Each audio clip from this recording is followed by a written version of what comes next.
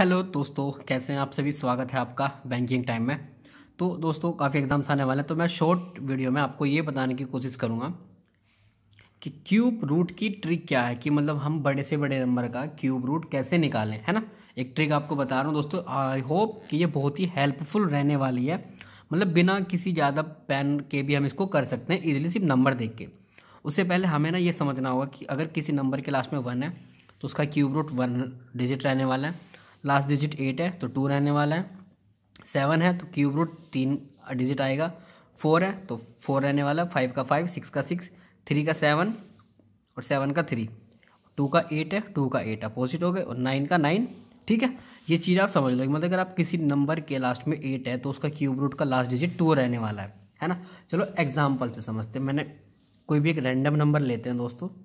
Seven, nine, five, zero, seven. इसका मुझे cube root करना है। तो देखो आप भाई, सेवन है लास्ट डिजिट देखो। सबसे पहले तो लास्ट डिजिट देखो, क्या है? सेवन है।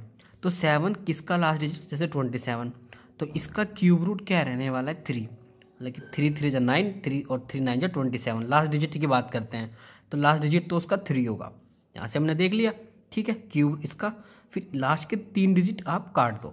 बचा कितना? सेवेंटी नाइन अब ये देखो कि सेवेंटी नाइन किन दो नंबर के क्यूब के बीच में लाई कर रहा है। तो थ्री का क्यूब ट्वेंटी सेवन और फोर का क्यूब सिक्सटी फोर और फाइव का वन ट्वेंटी फाइव तो सेवेंटी नाइन कहाँ लाई कर रहा है? इन दोनों के बीच में। कहाँ लाई कर रहा है? इन सिक्सटी फोर और वन ट्वेंटी फाइव के बीच में।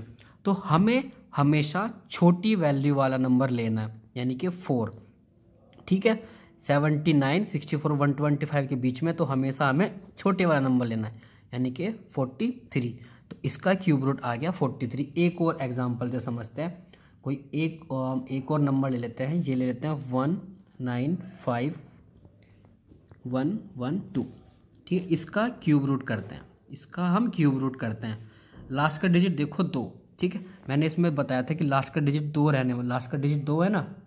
ठीक है तो दो किसके लास्ट में आएगा? आठ के? मतलब आठ का क्यूब रूट पाँच सौ बार तो लास्ट डिजिट दो रहने वाली है। तो जो लास्ट डिजिट आएगी, वो आएगी एट के क्यूब में। भाई आठ अट्ठे चौंसठ और आठ चौक बत्तीस, है ना? ये तो आप इजीली समझ जाओगे, है ना? इसके बाद लास्ट के तीन डिजिट को काट दो। बचा कितना?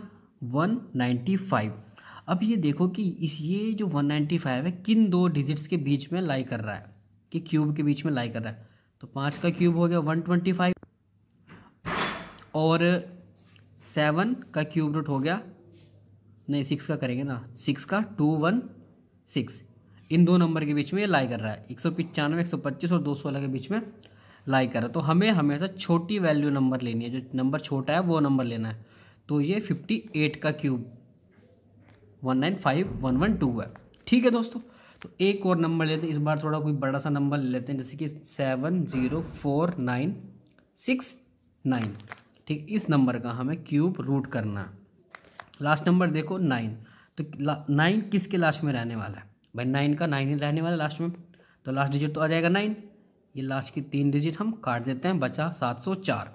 देखो कि ये किसके बीच में लाई कर रहा है? भाई आठ का क्यूब पाँच सौ बारह है, नौ का क्यूब सात सौ उनतीस है। लेना हमें क्या है? छोटी वैल्यू लेनी है।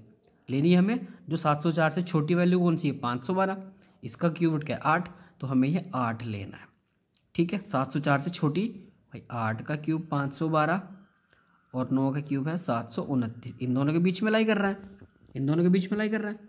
तो लेनी हमें कौन सी है? जो इससे छोटी होगी, पाँच सौ बारह से छोटी है तो आठ आ जाएगा। इसका आ जाएगा क्यूब रूट एट्टी नाइन। अच्छा चलो मैं एक आपको दो डिजिट देता हूँ मैं आपको। आप इसका कमेंट करके बताना दोस्तों, अगर आपको ट्रिक अच्छी लगी हो eight three zero five eight four इसका क्यूब रूट बताइए कमेंट करके। एंड एक छोटा नंबर ले लेते हैं कि आप इसका क्यूब बताइए, इसका क्यूब रूट बताना है आपने। ये आ गया two four three eight nine इनका क्यूब रूट बताइए आप कमेंट करके, अगर आप, आपको वीडियो अच्छी लगी हो तो प्लीज़ लाइक कीजिए एंड अपने सभी दोस्तों के साथ शेयर करना दोस्तों।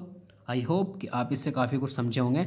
और ये जिस तरह मैं इसको करता आ रहा हूँ, मेरे लिए हेल्पफुल रही ये ट्रिक आप लोगों के लिए भी ये ट्रिक हेल्पफुल रहने वाली है। Thank you so much